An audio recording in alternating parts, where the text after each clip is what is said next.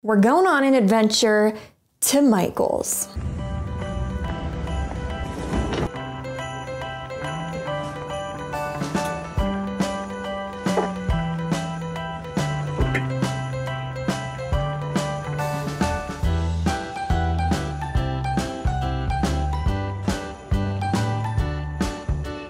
Okay, we are back and I bought a lot of things. So, confession up front, we're gonna have to do a two part video for this episode because I got a lot of stuff. So, I'm going to pull a couple things out of these bags. We are limited by time for this video because customizing things kind of takes forever. And to be honest, I actually got three bags of stuff, not two, so. Yeah. There are two things in here that I definitely want to paint in this episode though. So we'll do those two. So I will do a mini unbagging. I would call it unbagging, right? Because this, this did not come in the mail, so it cannot be an unboxing unbagging. Out of this lovely first bag, let me pull out our first item, and this thing is a beaut. It is so gorgeous. Look at this cute gift decoration thing. No, but seriously, this thing is super, super cute. I love the glitter ribbon on it. And it's like metal, actually. So we're gonna paint the white part of this box. I love that the ribbon is like already glitterified and everything. It feels festive, so we'll probably do something festive and it will be a good time. Now let's pull something out of this bag. Ta-da! I was so excited when I saw this. Like seriously, this is like a little winter scene in a shadow box. And guess what? The sticker says it lights up. I think it's really cute though. It reminds me of Copenhagen or just a city like my sister-in-law lives in Lancaster and this definitely gives me Lancaster vibes as well. Pennsylvania. Full price, this was $14.99, but your girl loves a sale, so you know I didn't pay $14.99. This thing also says $14.99. Okay, let's prep our palettes and we can paint and be creative. So if you feel like crafting with me, grab your stuff. We're gonna be creative. And if you make mistakes or you get scared or whatever, it's okay. I make them all the time in my videos, so it just means you're in the right place. Um, do you want a sneak peek for something that could be in a future video for this little painting series though? It's gonna be a really quick peek. Did you catch it? Before I get started, I have something really cool to share with you, and this is something that I have been working on for months. I have poured my heart into this, and I can't wait to tell you about it. So I have released cozy partial mystery boxes in my shop. The intentions with it are to inspire creativity while also making you feel cozy. And since this is one of my favorite times of the year, I love Christmas, yeah, I just wanted to inspire people to be creative around this time of year. So the really cool thing about this box is everything that is in this box cannot be purchased anywhere else in my shop unless I have overflow items that will go into future mystery boxes, but I don't really think that's gonna happen with this box. Let me tell you everything that you can expect in this box. See this crinkle paper here?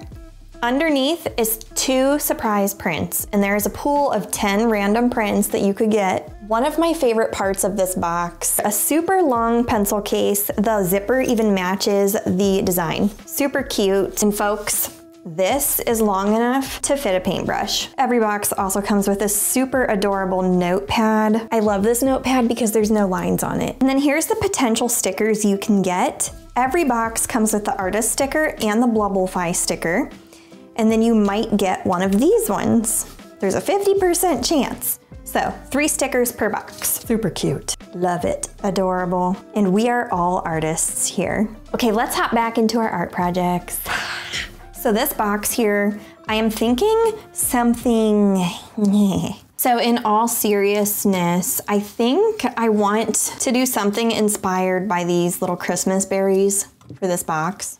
I think it'd be really cute. And sometimes less is more. So we're gonna shoot for simplicity with this design. We're gonna take this beautiful cadmium red color, a non-crusty palette, do that. beautiful. Let's take phthalo green, do that. A little bit of white. Boom. Literally such a weird palette, but I know these are the colors I want to use. Let's sip some coffee and get started. Also, I got these really awesome paint dotting tools from Moriah Elizabeth's paint set. They might make an appearance in this video because I'm in love with them. Paint brushes at the ready. So I'm just gonna paint on like one side at a time probably. I just mixed up this beautiful green color that we shall use. I'm excited for this because I can make this a decoration in my house. So this will be like a functional, cute seasonal thing that I can use every year. Let's do some berries here and there. Let's turn it to the other side. You know, it's pretty amazing that it takes so long to customize stuff. I mean, this is a fairly simple design and I can already tell it's gonna take a long time.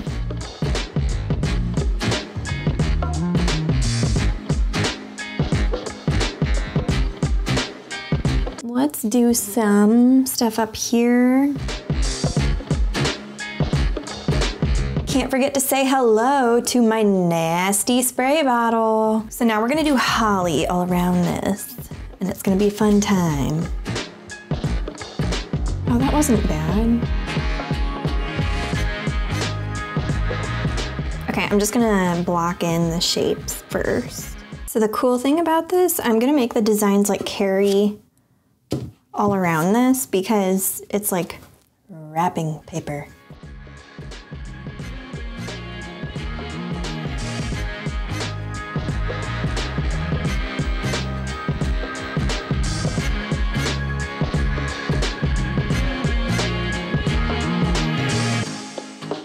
Like the way it looks to have all this holly wrapping around it, but my goodness, is it tedious. I'm also like not gonna attempt going under this ribbon because it's really annoying. Just being truthful.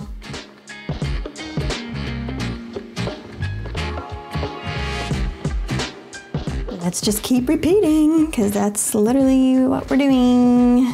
A massive pattern. This is the hard part, like painting around these ribbons. oh my goodness, I just realized, oh, poop. I thought I had painted all of these and I didn't. I just drew them. my thoughts so far on customizing this, I literally chose like the easiest design possible and had I not, I don't know, because this is kind of annoying. It just, it doesn't sit right. See, it just it's constantly rocking. And it's probably one of the harder things I have customized, which is weird. I've done a lot of three dimensional stuff, but I don't know. I thought I picked out something easy. Oh, I forgot the top. Okay, we're not done yet.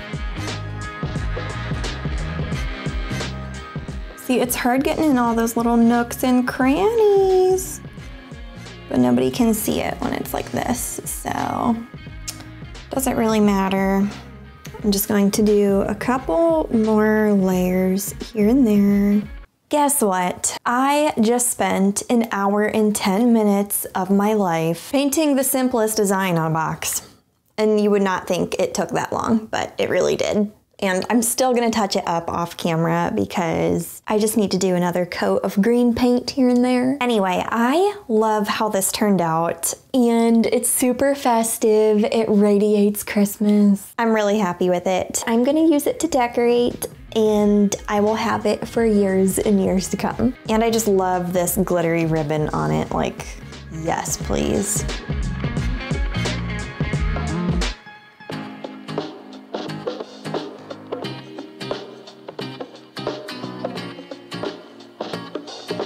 The other thing we're gonna customize in this video. This is like a little city scene. Ooh, oh, do I have scissors? Yes, they're on the ground. See this little doodad here? This is, oh my goodness. Oh my goodness, it's already on. Spoiler alert. Do you see that? Oh my goodness, I love that. That is adorable. Let's just hop into this one because, yeah, maybe I should turn the lights off though. Let me turn them off. I might try to keep this one simple too, just because of the nature of it.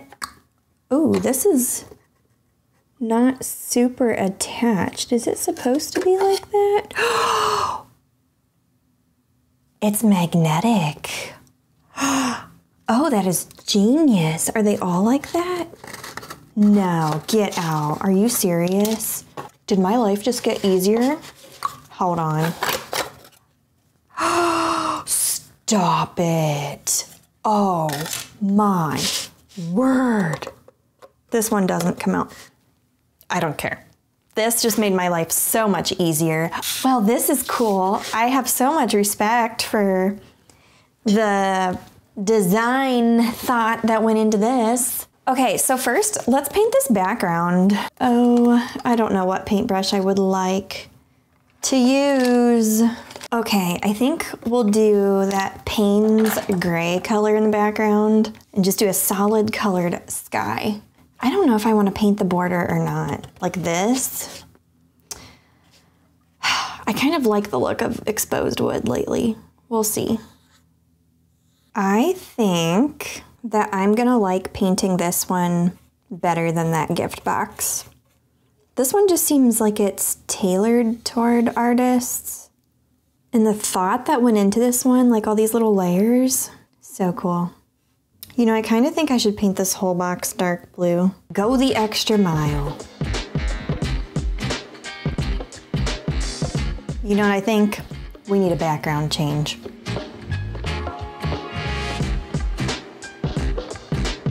Wow, if I did this upside down, it would be like I could do trees and then there's stars in the trees and then a weird sky. Did anybody else, like when they were little, never color things the colors they actually were?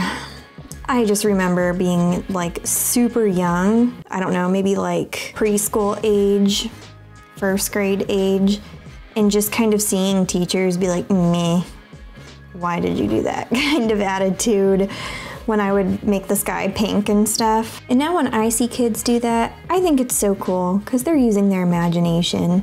Okay, time to do the inside border of this box. Block it all in, you know?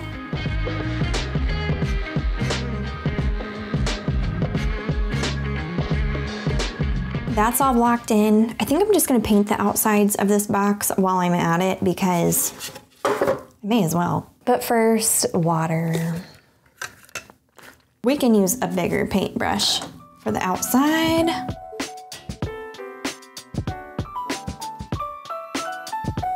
Wow, I'm probably gonna use up this entire tube of paint. Some beautiful solid edges.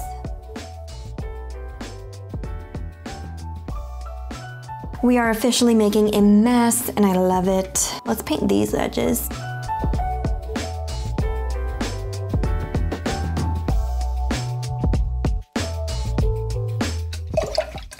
What a satisfying sound. Okay, so we need to paint this and decide what color to paint it actually. So it's off in the distance. I do think maybe it would be cool to do a bluish, somewhat green color. What do you think? Let's add a little bit of white.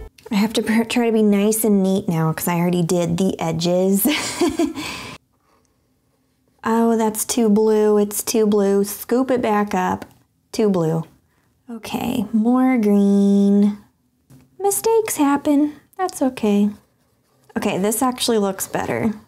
I'm going to carefully, ever so carefully, try to paint the edges.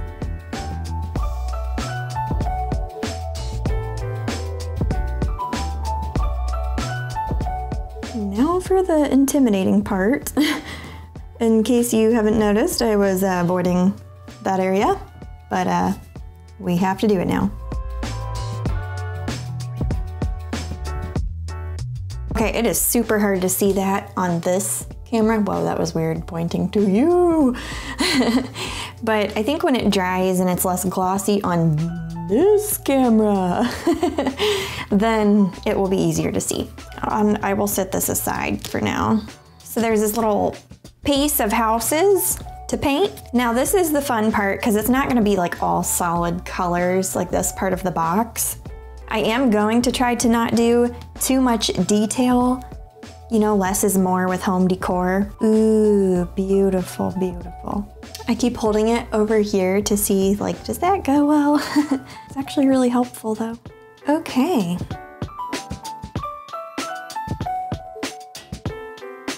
Love the fact that this comes out of the box. It made my life so much easier.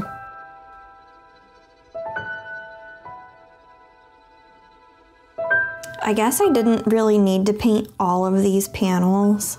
Like I could have stopped, you know, where the next one starts. But actually, wait, just kidding, because this has holes in it. But I didn't need to paint all this green for the trees. Okay, this is gonna dry. Now for the super fun part that I've been waiting for, we're gonna paint the houses. I think this part is gonna be really enjoyable. This middle house here is gonna be red. Are you ready for it? You know, it's kind of funny that we pay for craft supplies and this actually ends up being a relatively expensive project in comparison to just buying something like this at Kirkland's or Home Goods or something. But it's the process that's fun. Okay, the red house is done. Let's do this one next. Okay, I have this cute minty green color. I really like this one.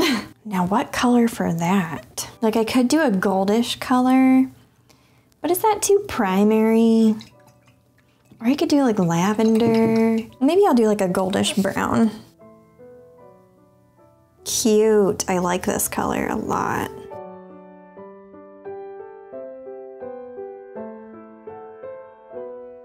Okay, so in my efforts to keep a limited color palette, what I'm gonna do is color borrow from different areas of this painting. We have the dark blue background, we have these three colored houses. So these doors are all going to repeat colors that are already in the palette. I'm excited for this. So this blue house will get a gold door. I think that will be really cute. Now this is gonna just do little tradesies and have a blue door. Now this middle one, the same color as the sky. Okay, this is where the painting gets really fun. We're gonna take this back, we're gonna let this dry. Got some white, and we want to make this look like a little winter wonderland. So I'm going to put snow on the tops of some of these houses.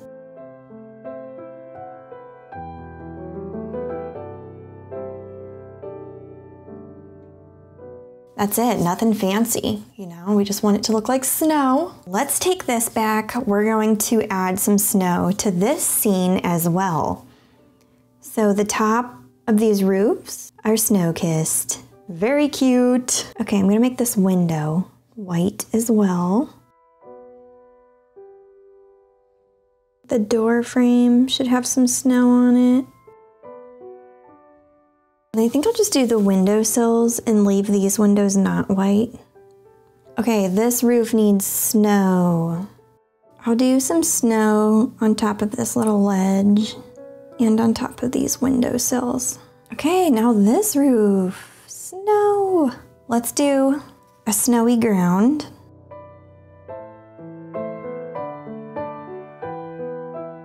This is the fun part. I am going to assemble this and we can see what it looks like all put together. Well, actually, before I do that, I kind of want to do this. There we go. Okay, what does it look like assembled? What if I can't get these back in? Ooh, that was so cool. Oh no, it's way too high though. Okay, now it's time for this piece. that is so cute. Oh my word. We're gonna do one more thing. before we turn the lights on and do the big reveal. By the way, purposely no snow-capped trees. They're supposed to be dark in the background. I'm taking my new obsession and we're gonna do snow.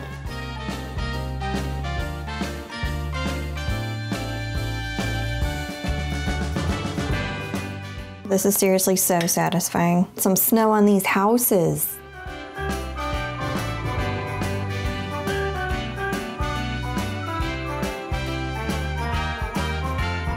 Okay, should we do the big reveal and see what this looks like with the lights on?